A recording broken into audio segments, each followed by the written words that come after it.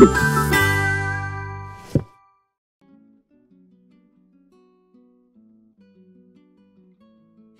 there makers, it's Jo from Minerva. I'm here today to show you a short tutorial on how to make a lettuce edge hem. A lettuce edge is that sort of curly rippled edge you sometimes get on sleeves or on hem bands. You might be mistaken for thinking that you need an overlocker to do it, but you don't. You can get a, a frilly edge, but only on certain fabrics. You can use this zigzag technique on fabrics that have lots and lots of stretch.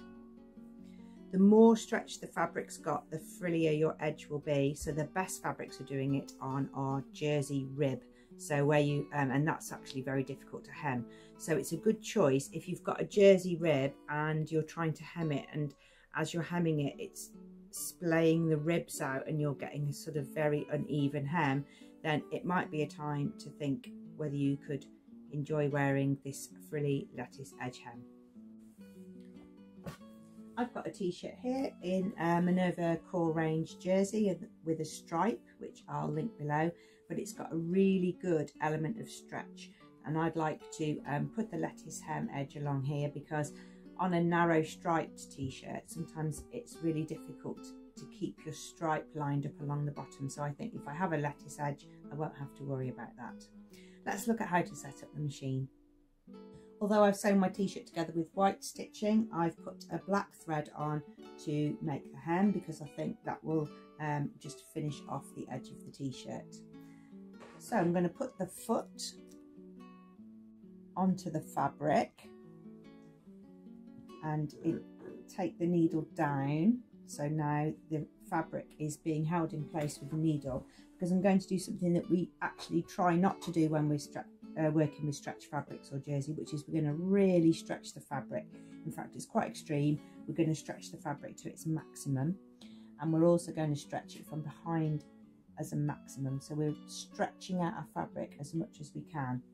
It does mean you've got slightly less control under the foot, but um, you need to try and sort of guide your fabric by stretching it and I'll show you how to do it. You'll need to be able to understand on your machine which is stitch length and which is stitch width. So if you've only got a dial um, machine where you can choose one or two zigzags, you might have to have a little experiment on some fabric. Um, I experimented on a piece before I started on my main fabric and so I made sure that I could get the right uh, stitch width and distance between the stitches. So I've got my stitch length on very, very narrow because I want my stitches to be really, really close together. I don't want an open zigzag.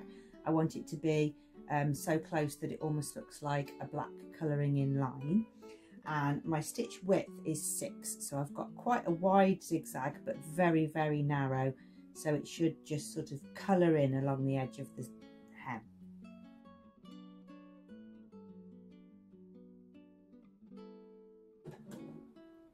There's a few things to note. So you need to make sure that you're going over the edge of the fabric because you don't want to go back and have to trim it later because there's a chance that you'll catch the stitching. So you need to make sure that you are stretching the fabric um, but making sure that the needle zigzags over the edge.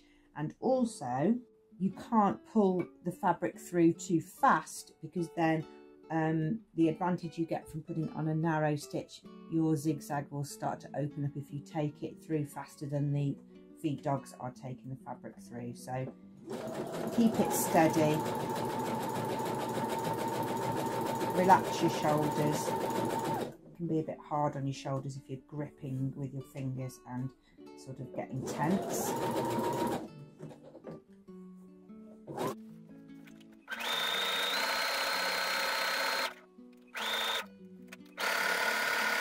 Make sure your fabric doesn't curl, which is hard when you're stretching it out of its grain